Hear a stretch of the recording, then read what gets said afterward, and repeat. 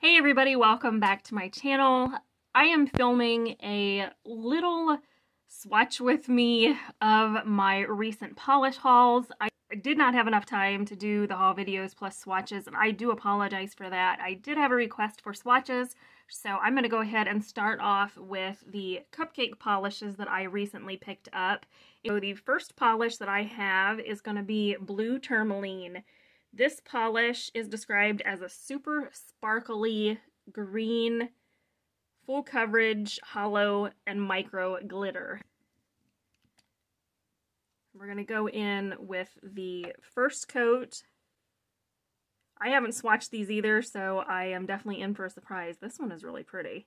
I thought it was going to be a little harder to work with because of the glitters in there, that's actually not bad. It is almost a one coat polish. So that is one coat of blue tourmaline. The next one is another chunky glitter. There's this one in the color Garnet, and it is also a full coverage glitter and micro glitter polish. It is a beautiful, like, deep berry shade. Let's see, oh, this is pretty. Look at that coverage.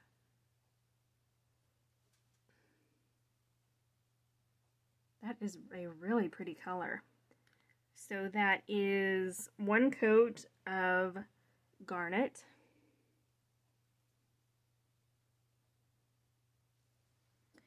The next one is also a glitter bomb. This one is called Sapphire, and it is a sapphire blue hollow and micro glitter polish. Oh, this is pretty too. Look at that. Look at the coverage on these. That's beautiful. I'm loving that. That is gorgeous. Just look how sparkly these are. I am very surprised by this. I thought because of their glitter-packed formula, they were going to be a little hard to apply, and it's actually very easy to apply. I'm excited about that. Those are gorgeous. So now we're going to move on to mostly like linear hollow polishes.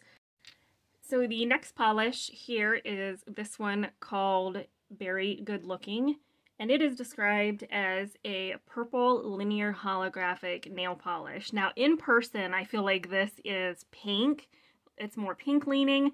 You guys will have to let me know on your screens what you are seeing, but let's go ahead and swatch it. It may be a little more purple than I think it is.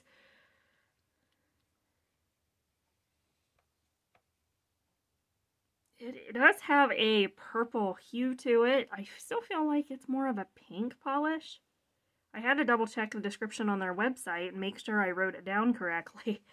But I feel like it's almost like an orchid purple. It On camera, does look like it's coming off to be more purple. So that is berry good looking.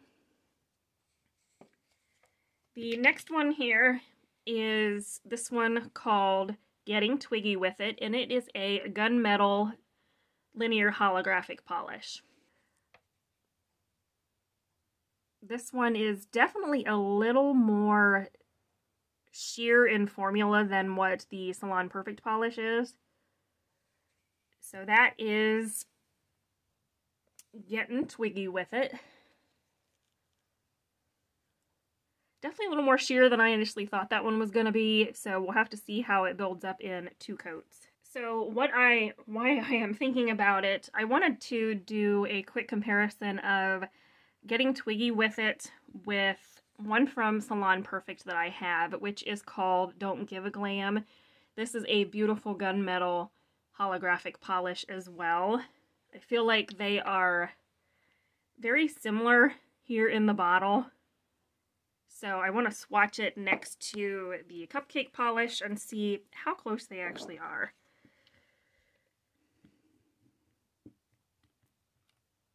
So I'm going to go in with the first coat of Salon Perfect polish and in person the Salon Perfect base is a darker gunmetal polish.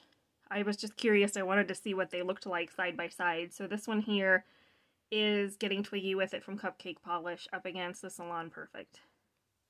The next polish I'm going to go in with is this beauty. This is called Plum Perfect, and it is described as a royal purple linear holographic polish.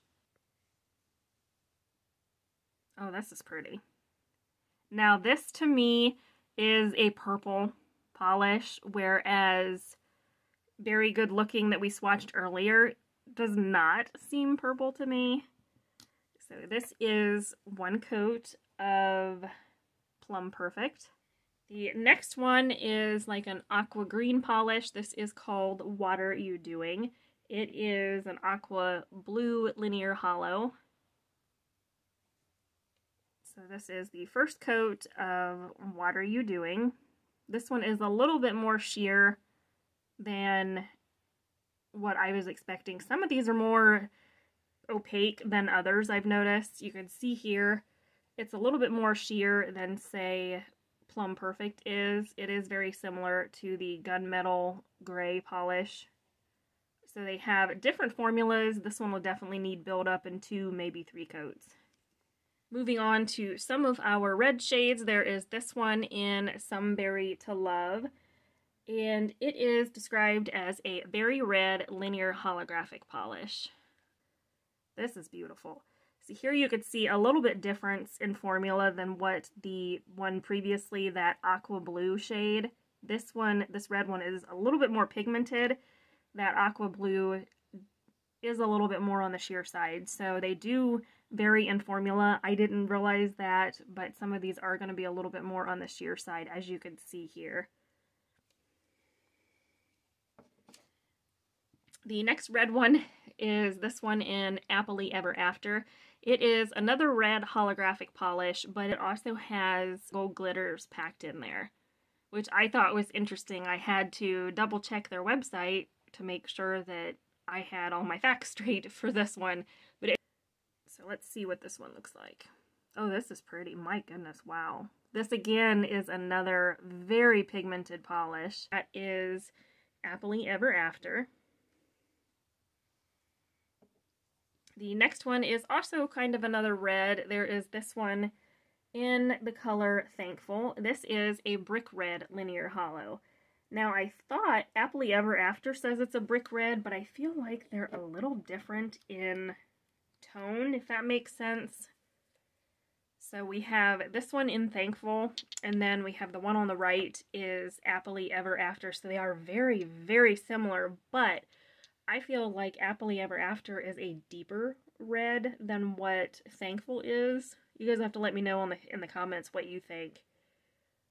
They're beautiful. And you do have that hint of gold sparkle in Appley Ever After, whereas the color Thankful here on the left is just a brick red linear hollow. See how similar this one looks to Appley Ever After. So this one is a much deeper red, as you could tell. This is definitely a more of a brick red, in my opinion. So there you can tell the difference between the two. So we have this one in Appley Ever After. Then there is this one in Thankful. So you can tell there's a definite difference there.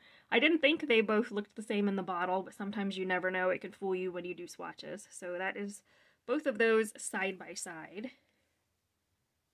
The next one is a gorgeous blue. This is Fringe Benefits, and this is a stunning sapphire blue linear holographic polish. I don't have anything similar to this in my current collection, and oh my. This is this is gorgeous. My goodness. So that is one coat of fringe benefits. And isn't that just beautiful? Look at that gorgeous color payoff. Beautiful pigmentation. Wow. This is Hot Girl Fall. It is an emerald green linear hollow. It's on my winter rack because I thought this color is going to be perfect for the holidays. It is the beginning of January when I'm filming this, so I don't know how many of these polishes I'll get to, but I do plan to try to at least pull this one out. This one looks like it's going to be absolutely gorgeous. And yep, it is just as pretty as I hoped it would be. So there is Hot Girl Fall. Beautiful green. I love that color. I have another chunky polish here. This one is called Aurora Borealis, and it is described as being a black jelly base filled with multichrome and iridescent flakies and hollow micro flakies. This has so many different colors going on. I can see teal, I can see gold, yellow, orange, purple, blue, and pink in here. Hoping it's coming off on camera that you guys can actually see that. This is gorgeous. This one will be a little bit on the chunky side, so I imagine it's probably going to dry rather textured. And it does apply like a glitter-packed polish. But I love all of the colors in there. Look at that. So that is one coat of Aurora Borealis. So many gorgeous colors going on in this. It is beautiful. And the last one here is this polish in Bloodhound. This is described as a deep burgundy linear hollow polish. This again is another gorgeous polish. Oh wow, this is pretty. With this one, as you guys can hopefully see on camera there, it's very, very opaque. This would definitely be one you could probably do just one coat and there you go. So that is one very well pigmented coat Bloodhound. That is gorgeous. That is what each of these looks like. Some of these are drying down a little bit to like a demi matte finish. The glitter packed polishes, if you guys can see here, are going to be more of a semi-matte and they have a little bit of texture to them. So you'll want a glitter smoother top coat with those polishes or a couple layers of a good top coat. We'll let these dry and come back for coat number two. Okay guys, we are back for coat number two for all of the cupcake polish swatches. This is what everything is looking like in the first coat. Absolutely gorgeous polishes. These are beautiful. So we're going to start off with our more textured polishes, the glitter packed polishes. So that color we're going to go in with first is this one in blue tourmaline. Again, you will want a glitter smoother top coat with these because they are glitter bomb polishes. So there is the second coat of blue tourmaline, a gorgeous color. This one in garnet.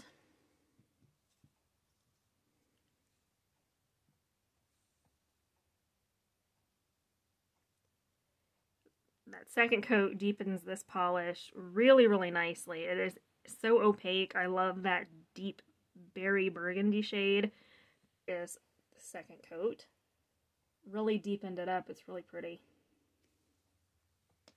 Then we have this one in Sapphire, which is this blue, beautiful sapphire blue polish.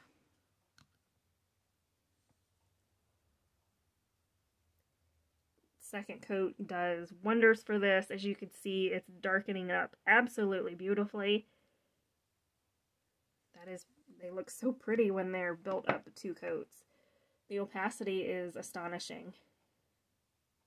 That is what those look like. Then we're going to move on to all of our linear hollows. We have this polish here, which is berry good looking. This does deepen that up, and upon swatching it, I see a little bit more purple than what I thought. It still almost has that orchid purple feel to it. It is not as purple as, say, this polish here is, so that is what berry good looking looks like. It is really pretty. That is absolutely gorgeous. And so the next one is that gunmetal gray, which is this one, getting twiggy with it.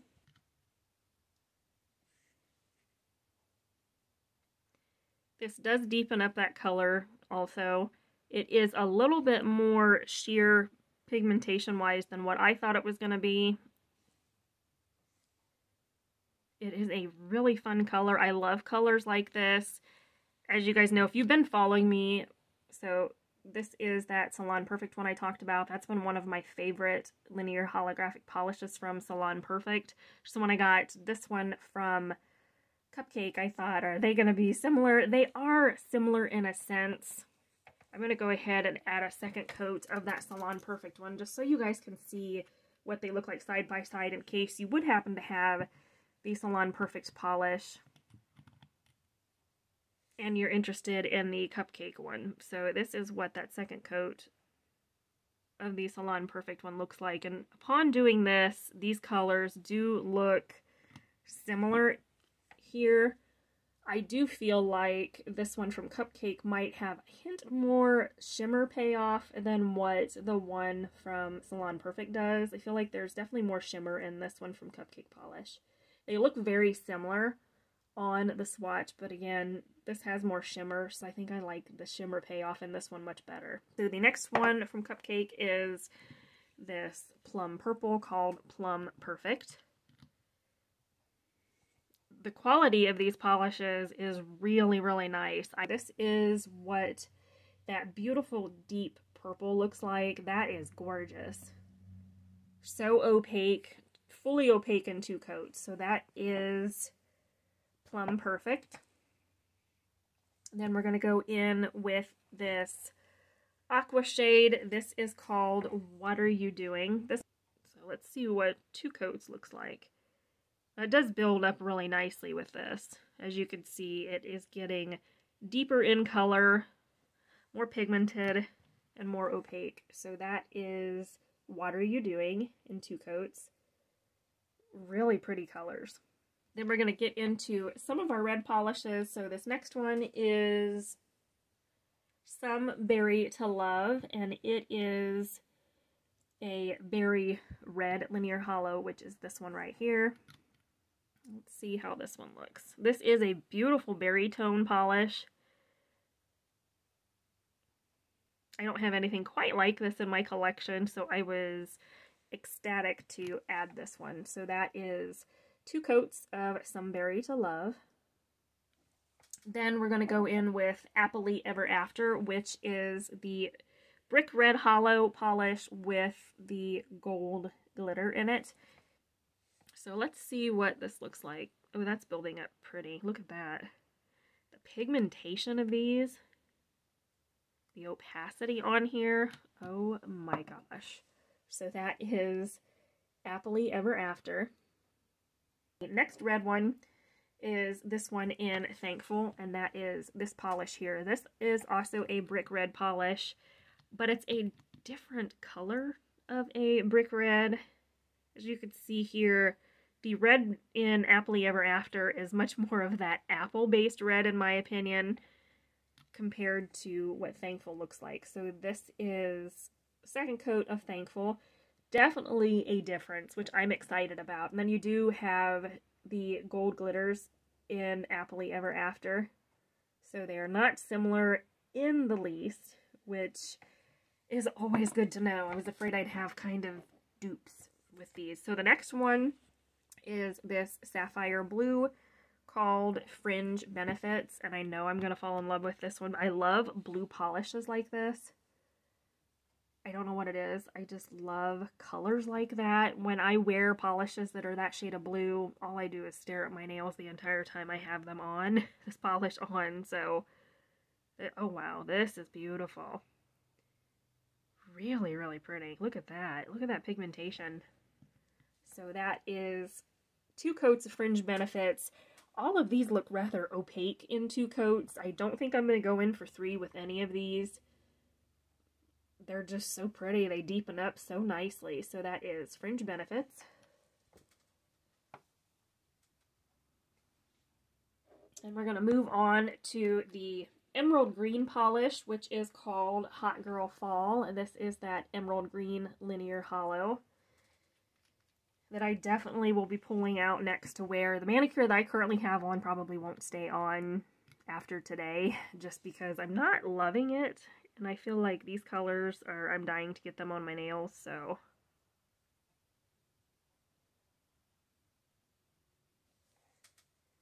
So there is that one in Hot Girl Fall. Beautiful color.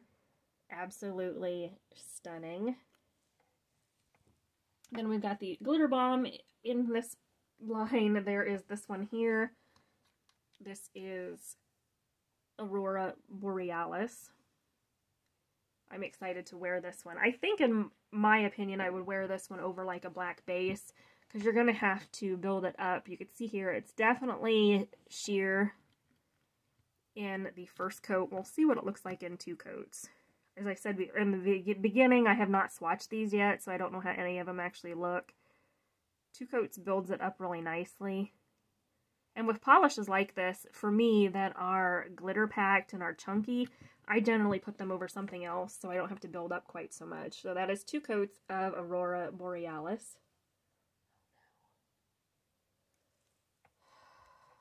And the final polish for this portion of the haul is this one called Bloodhound. This is that beautiful deep berry linear holo. If you guys do not have any polishes from Cupcake Polish, I definitely would be hard pressed to tell you, go get some of the holo polishes. They're beautiful. You can see here, this polish is building up amazingly in two coats. So that is two coats of Bloodhound. You can see they're just, they build up beautifully. Absolutely gorgeous. These glitter polishes, as I said, they're going to be textured, so you'll want a glitter smoother top coat. But that is everything in two coats. Let me know which one you guys are eyeing to pick up. These are just so pretty. Prettier than I thought they were going to be. They are gorgeous. Just beautiful polishes. I will try to list everything down below. Everything is available on the website at the time I'm filming this. So let me know in the comments what you guys think, which ones are speaking to you, which ones you may be putting on your wish list. Hope you guys have a great week. Don't forget to subscribe before you leave, and I'll see you in the next one.